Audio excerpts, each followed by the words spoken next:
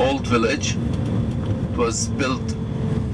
I mean, I'm sure that there are more ruins where we are. Look at that house, and just underneath that, uh, just behind this uh, this hill to the right, uh, there are ruins of a huge church, a Byzantine church, goes back to the fourth century, and according to the archaeologist, the church of Kursi was the largest church that Christians built in this land.